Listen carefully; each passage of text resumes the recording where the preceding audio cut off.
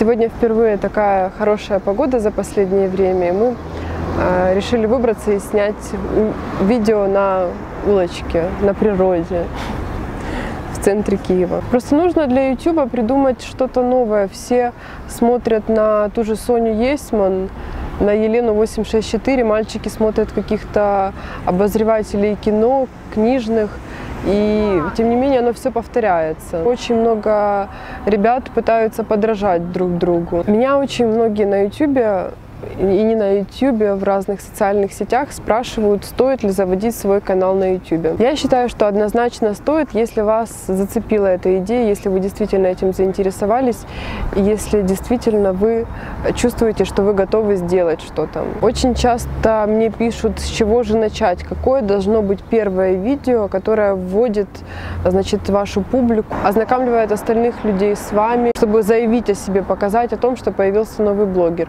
Очень многие многие стесняются говорить сначала на камеру, там у них э, с речью проблемы очень многих. Самое главное это начать, э, определиться, допустим, хотя бы приблизительно с контентом, который у вас будет на вашем канале, и начинать снимать видео. Если вы стесняетесь говорить, то вот я первое свое видео сняла, это был просто outfit of the day, показала, что я там ношу.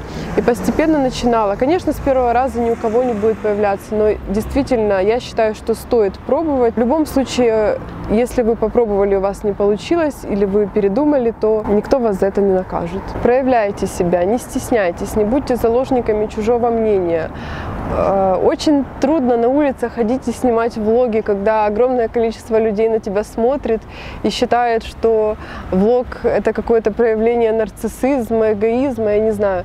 И, э, в общем, творите, друзья. Благодаря тому, что я завела свой блог, я смогла познакомиться с очень большим количеством действительно интересных людей. Я познакомилась с блогерами, девочки, привет, с которыми мы обмениваемся какой-то информацией, э, даем друг другу советы, снимаем совместные видео. Я успела поработать в качестве ведущей на Pink TV. Есть очень много каких-то привилегий, я бы сказала, которые действительно очень приятны в этом творчестве. Я просто обожаю вот этот процесс, когда ты отснял видео, приходишь домой или уже дома, начинаешь, открываешь свой ноутбук или где-то в кафе сидишь, монтируешь видео, процесс нарезания этих кусочков, собирания всего в кучу, накладывание музыки, подборы этой музыки. Это все очень интересно, но, по крайней мере, для меня.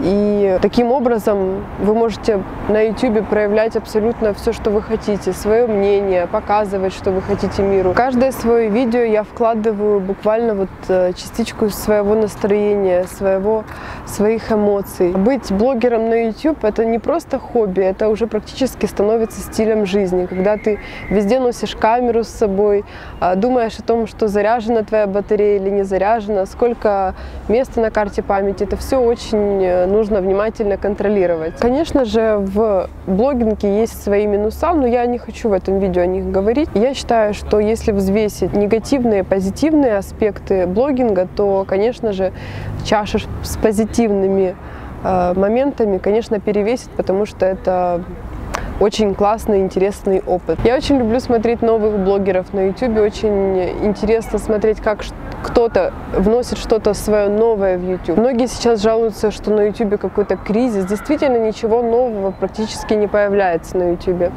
Поэтому, если у вас есть какие-то новые девочки, новые блогеры, которых вы смотрите. Оставляйте, конечно же, их ссылки под этим видео, поделимся с друг дружкой информацией. С вами была Лерочка Каменская. Всем пока и до новых встреч в новых видео.